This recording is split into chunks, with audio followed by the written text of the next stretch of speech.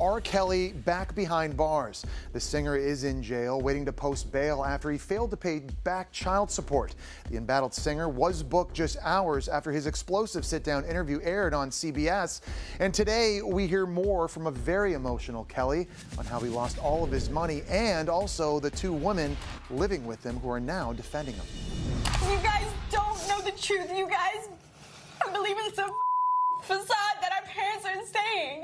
This is all lies for money.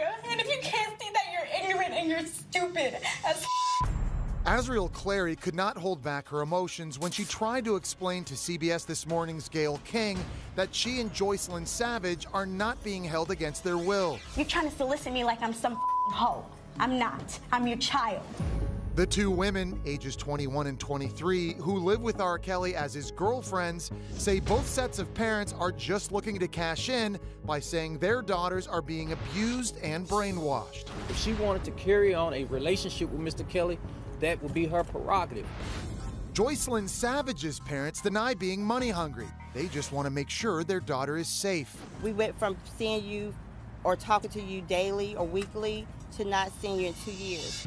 But Azriel, who did most of the talking in the interview, says it's their parents who are in the wrong by pushing her to be with Kelly when she was underage.